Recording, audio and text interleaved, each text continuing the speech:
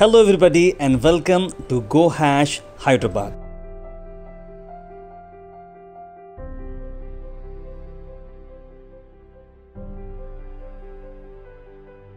PVJ educational academy Malakpet Hyderabad ने एक ख़ास प्रोग्राम रखा था जिसका टॉपिक था नौजवान ज़िंदगी कैसे गुजारें मशहूर सेलिब्रिटीज में और आप बहुत सारे दीन के कामों में और दावत के कामों में हिस्सा लिए हुए हैं तो आज आपको बुलाने का मकसद ये है कि आजकल के माशरे के अंदर नौजवान नस्ल किस तरह अपनी ज़िंदगी को गुजारे और किस तरह अपने टारगेट को और अपने जो भी एम्बिशन है, जो भी अपने टारगेट है, जो भी आप अचीव करना चाह रहे हैं, वो जितनी चीज़ें आप अपने माइंड में लेकर रखें तो इसको कैसा अचीव करना, कैसा आप टारगेट तक पहुँचना और किस मकसद के साथ ज़िंदगी गुजारना और किस नीयत के साथ ज़िंदगी गुजारना और ये ज़िंदगी क्यों मिली और इसके देने का मकसद क्या है और इसको किस तरह गुजारना, इसके बारे में थोड़ा सा आपसे खिताब करें जिसके स्पीकर थे मीर मोहतशम अली खान, जो कि प्रोफेशनल बॉडी बिल्डर हैं और मिस्टर वर्ल्ड हैं 2007 इस एकेडमी के डायरेक्टर हैं मोहम्मद जाहिद कोर्स डायरेक्टर हैं मोहम्मद सिराजुद्दीन। ये प्रोग्राम काफ़ी कामयाब रहा और कई सारे बच्चों ने काफ़ी अच्छी सीख ली। और प्राइज डिस्ट्रीब्यूशन प्रोग्राम किया एम ए हफीज़ ने, जो कि प्रेसिडेंट हैं traditional wrestling association of Telangana की। इस प्रोग्राम के ऑनरेबल गेस्ट थे मोहम्मद अब्दुल हक खमर साहब, जो कि स्टेट सेक्रेटरी हैं तेलंगाना राष्ट्र समिति के। और साथ ही साथ गेस्ट थे आदिल बिन इशाक अफरोज, जो कि जनरल सेक्रेटरी हैं traditional wrestling association of Telangana की।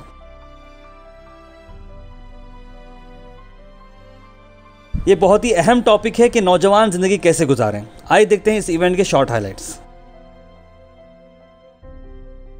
हम लोग पीछे हैं। और सबसे ज़्यादा जो है तालीम में हम लोग बहुत पीछे हैं। इसीलिए जनाब डायरेक्टर साहब मोहम्मद ज़ाहिर साहब जो विजन है उनका, उसको जो है हम कामयाबी से जो है अभी तक दस साल हो चुका है। कामयाबी से आगे लेकर चल रहे हैं और अल्लाह ताला चाहा तो इंशाल्लाह हम आगे भी अपनी उम्रों में में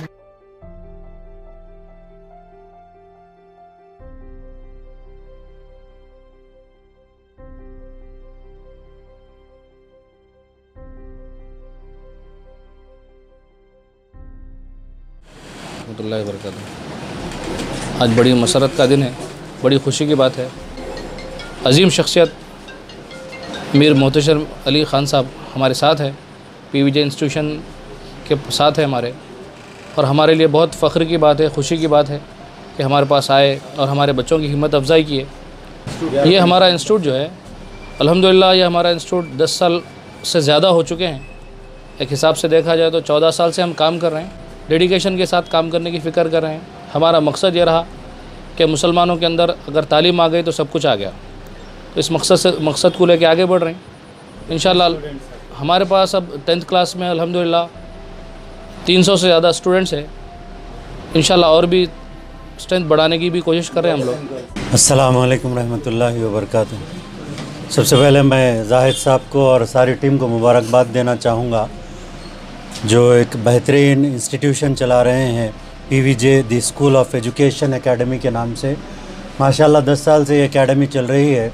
सबसे ज़्यादा मुझे खुशी यहाँ पर आ, आने के बाद ये हुई कि जो हफाज इकराम जो अपना हिफ्ज़ नामुकम्मल करके जो हिफ्ज़ छोड़ देते हैं या उनकी तालीम हिफ्ज़ करते करते छूट जाती है वैसे हफाज इकराम को लेके ये लोग काम कर रहे हैं। और टेंथ का एग्ज़ाम यहाँ से बच्चों को दिला रहे हैं। सबसे ज़्यादा मुझे खुशी हुई और इसके साथ साथ बच्चियों में तालीम के बारे में बच्चियों को ज़्यादा तालीम हासिल करने के लिए उजागर कर रहे हैं और एक बहुत अच्छा काम है और इन अल्लाह इन लोगों को तरक्की दे। हम हम सारी टीम मेरी भी इनके साथ काम करेगी। जो भी स्पोर्ट्स का मामला होगा जो भी फ़ील्ड में ये काम करना चाहते हैं आ, मुझे जब भी बुलाएँगे मैं यहाँ पर आऊँगा। और मैं आके देखा कि बच्चियाँ बहुत ज़्यादा ज़ौक़ शोर से मतलब अपने जो जो शौक़ है, उससे पढ़ रहे हैं और कई बच्चियों को मैं देखा जब मैं बात कर रहा था। तो बच्चियों के अंदर एक चमक महसूस किया मैं कि उनके अंदर आगे बढ़ने की बहुत चाहत है। अल्लाह उनको कामयाबी दे और P V J school of educational academy के जैसा आप लोग भी काम कीजिए। और ऐसे एकेडमीज़ जो तालीम का काम, एजुकेशन का काम कर रहे हैं हम तमाम लोगों को इनका साथ देना चाहिए और जिस तरीके से ये कम चार लड़कियों से ये लोग शुरू किए इंस्टीट्यूट, और माशाल्लाह आज साढ़े तीन सौ बच्चे बच्चियाँ यहाँ पर मौजूद है। मुझे खुशी है और साथ में ये जो हमारे स्पोर्ट्स के हैदराबाद डिस्ट्रिक्ट मास रेसलिंग के प्रेसिडेंट साहब यहाँ पर आए हैं।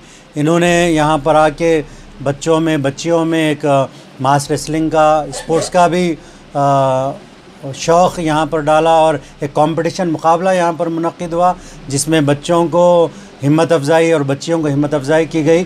क्योंकि एजुकेशन के साथ साथ स्पोर्ट्स का होना बच्चों और बच्चियों में ज़रूरी है। क्योंकि अगर हमारी हेल्थ अच्छी रहेगी तो हम हर काम कर सकते हैं। अगर हमारी हेल्थ अच्छी नहीं रही तो हम ना पढ़ सकते हैं, ना कोई काम कर सकते हैं। इसलिए प्यारे नबी सल्लल्लाहु अलैहि वसल्लम ने फरमाया, हदीस के अल्फाज है कि अल्लाह ताला को एक कमज़ोर मोमिन से ज़्यादा अल्लाह ताला को ताकतवर मोमिन पसंद है। तो इसका काम करना चाहिए। तालीम भी ज़रूरी है, स्पोर्ट्स भी ज़रूरी है। इस दोनों चीज़ों को लेके हम तमाम लोगों को चलने की ज़रूरत है। जजाकल्ला खैर।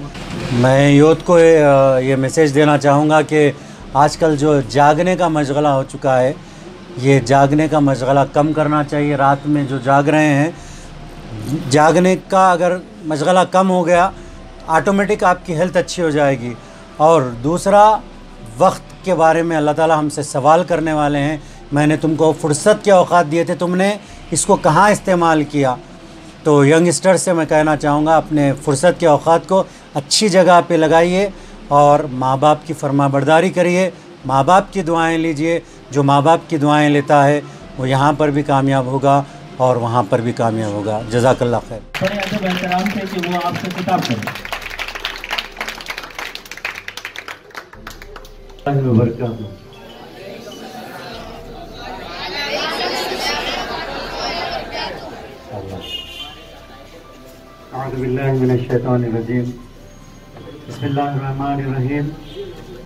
और मैं मुबारकबाद देना चाहूँगा पीवीजे एजुकेशनल सोसाइटी के तमाम जिम्मेदारान को खासतौर पर जाहिद साहब को जि, जिन्होंने एक बेहतरीन एकेडमी का क़्याम किया है। और इन आइंदा साल जूनियर कॉलेज की शक्ल में आप लोगों को मिलेगा। ज़ोरदार, मैं शुक्रिया अदा के साथ। के सामने, आप लोगों के सामने मुझे बात करने के लिए आज यहाँ पर बुलाया गया है। अभी भी आप तमाम लोगों ने मेरे टाइटल सुने, लेकिन उसके पीछे क्या उसका राज है, आप तमाम लोगों को मैं बताना चाहूँगा कि किस तरीके से हम आगे बढ़े और किस तरीके से हमको कामयाबी मिली। तो ये कोई इजी काम नहीं था बच्चों। बहुत मेहनत करने के बाद ये टाइटल्स हासिल हुए और जब मेहनत इंसान करता है, अल्लाह ताला कुरान में फरमाते हैं वो इंसानी अगर इंसान मेहनत करे तो अल्लाह ताला फरमाते हैं हम उसको उसमें कामयाबी देने वाले हैं। तो कामयाबी किस तरीके से मिलेगी? चार चीज़ आप लोग याद रख लीजिए, पाँच चीज़। पाँच चीज़ अगर आपके दहन में बैठ गए तो मैं समझूँगा कि यहाँ पर मेरा आना कामयाब हो गया, इंशाल्लाह। पाँच चीज़ जहन में रखना बहुत ज़रूरी है। पहला है डिसिप्लिन हमारे पास डिसिप्लिन होना ज़रूरी है। पहला क्या है? डिसिप्लिन दूसरा है हार्डवर्क तीसरा है टारगेट और चौथा, जो सबसे इंपॉर्टेंट है बच्चों, जो हम लोग अक्सर भूल जाते हैं।